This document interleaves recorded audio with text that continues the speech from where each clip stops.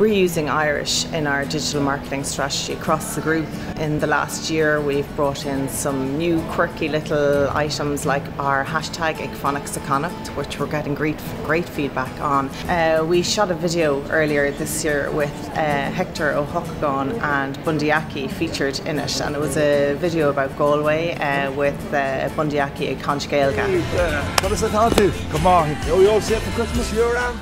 And the reach for that was just amazing. It was really outstanding. So we're really looking at, at focusing into uh, more modern ways of um, sharing um, our passion for the use of the Irish language. The benefits of having a bilingual business are absolutely huge, especially in the hospitality industry. Tíochaoimh is mis Susanna sa mé gobar sa bósam chona. Is mis Banistore Service na Customary. agus capar go teítach go bhfuil go chumá le cultúr na héirín chuir trás.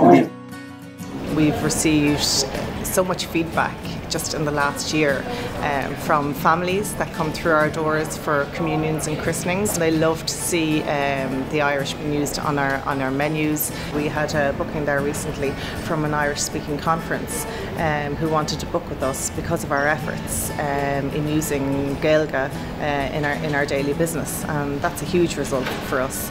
They're booking with us because of our bilingual environment.